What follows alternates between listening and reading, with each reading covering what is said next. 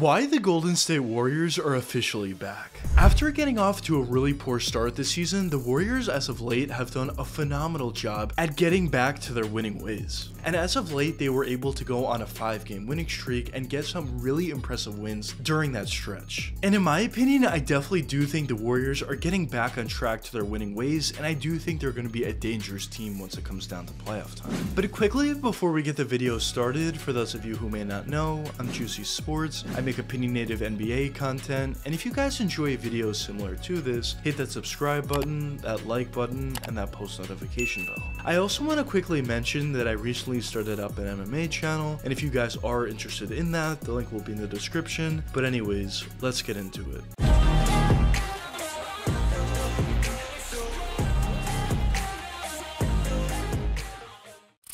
When you think about the Golden State Warriors over the more recent history, you think of success. You think of their playoff success that they were able to have over the years, you think about the championships they were able to win, and overall it's pretty clear that the Warriors from top to bottom were just a model organization. But when you look at the Warriors over the last two or so seasons, it's pretty clear that they're not nearly living up to the standard that they used to. They had some seasons where they missed the playoffs entirely and were one of the worst teams in the league. They had some seasons where they made the playoffs, but they didn't have nearly as much success success as they did in the past, and overall it's pretty clear that things have changed a little bit with the Golden State Warriors. Now a question that some of you may be wondering at this point is why? Why weren't the Warriors able to keep up a similar level of success that they had in their glory years over the past two or so seasons? Well in my opinion I think it comes down to a couple different factors. The first factor has to be injuries. When you look at the past few years, a lot of their main guys have been hurt. Whether you talk about Steph Curry, whether you talk about Klay Thompson, some other of their main guys, and even support supporting cast were definitely hurt over the last few years, and of course that's going to play a significant role in terms of lack of playoff success that the Warriors have had, or even lack of success in general in the regular season. But of course, besides injuries, the next factor has to be the loss of Kevin Durant. Whenever you're losing a player that's one of your main guys, of course that's going to be a big hit, but especially when you're losing a guy like Kevin Durant, who's one of the best players in the entire NBA, there's so much that he does for you offensively, not only scoring for himself, but also spreads the court out significantly for others and gives more room for your offense to flow. Of course, losing a player of that caliber is going to play a significant role in the lack of success that the Warriors have had ever since he left. Now, besides those two factors, changes in management definitely play a factor, and overall, there definitely is a lot to explain why the Warriors haven't been playing as well as of late. But with that being said, when you look at what Golden State was able to do as of late, going on a five game winning streak and just playing much better basketball overall, both offensively and defensively, it's pretty pretty clear that there is a lot more to get excited about now as opposed to what we've seen from them prior to this recent hot streak. But a question that some of you may be wondering at this point is why? Why are the Warriors able to be so much more successful now as opposed to what they were able to do earlier on into the season? Well, it comes down to a couple different factors, but the first factor that I want to touch upon is their defense. Because when you look at what the Warriors were doing earlier on in the season, although their offense wasn't perfect, there definitely were some games where some of their guys were going off and their offense was playing at a pretty high level. And there was a bunch of times where the Warriors had a lead, whether you talk about they had a lead in the fourth quarter, they had a lead in the second half, or just had a lead in general. There definitely were times where their offense was good enough to be better than another team in a certain moment. But as the game did progress, and especially in the fourth quarter and late in the fourth quarter, the Warriors were blowing a bunch of leads due to the lack of defense. And obviously, if you're not able to play defense at a high level, it's going to be extremely difficult to win games. No matter how good your offense is. Your offense virtually needs to be perfect in order to win games without good defense. And I definitely think the lack of defense earlier on in the season is a huge reason for why the Warriors didn't have all that great of a record and were blowing a lot of games they probably otherwise should have won.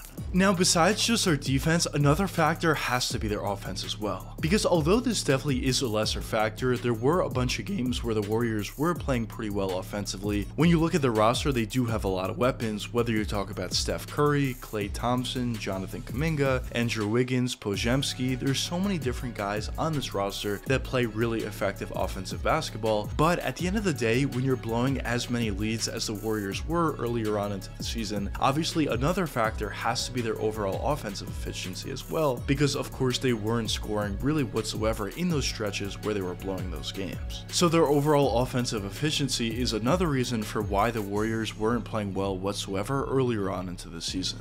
Now, the last reason for why the Warriors weren't playing all that well whatsoever earlier on into the season is due to the play of Jonathan Kuminga. Because when you look at how Kuminga was playing earlier on in the season, there definitely were some games where he played well, where he put up efficient numbers and put up good scoring numbers overall, but when you look at where he's at at this point compared to earlier on in the season, it's pretty clear that Kuminga is playing so much better now and a lot more consistently as well. So of course, the lack of consistency and the lack of scoring that the Warriors were getting from Kuminga also could be another factor for why they weren't playing all that well to start the season. But when you look at all those factors that I mentioned and compare that to where the Warriors currently are at this point, it's pretty clear that Golden State is a completely different team. When you look at their offense, it's pretty clear that they're doing a great job at mixing everybody in and playing very efficient and effective basketball. Draymond Green is back and he's doing a really nice job at facilitating and getting open looks for guys like Steph Curry and Klay Thompson, but also finding wide open looks for guys like Jonathan Kuminga and Podziemski as well. So their overall offense is definitely a lot more efficient and a lot better, but even besides that, more importantly, their defense is also significantly better. When you look at what the Warriors are currently doing at this point, they're doing a really nice job at double or triple teaming when they need to,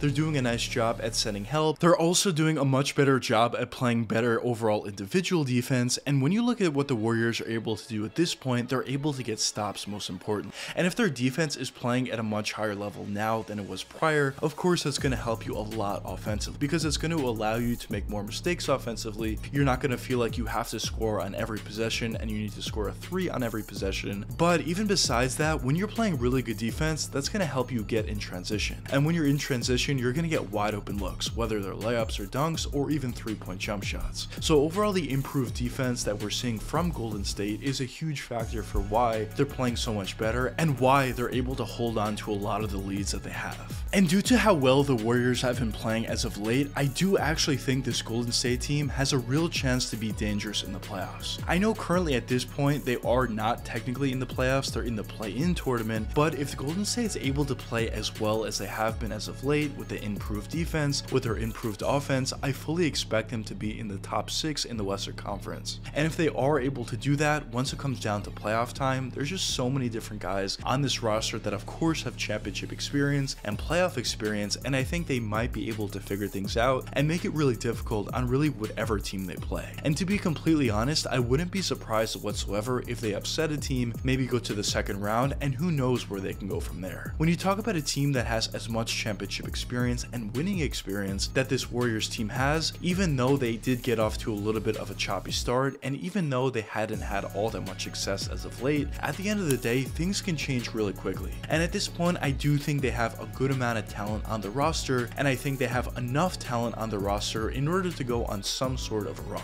But obviously, with all that being said, it still is extremely early. The Warriors still haven't necessarily played all that well this season, and there is a lot more work that needs to be done in order for Golden State to get to that level that I was mentioning. But I guess only time will tell what does end up happening. But anyways, let me know what you guys think in the comments. Do you think the Golden State Warriors are back, or do you not think so? But anyways, I hope you guys enjoyed the video, and if you did enjoy, check one of these two videos popping up now. And until the next time, peace out, guys.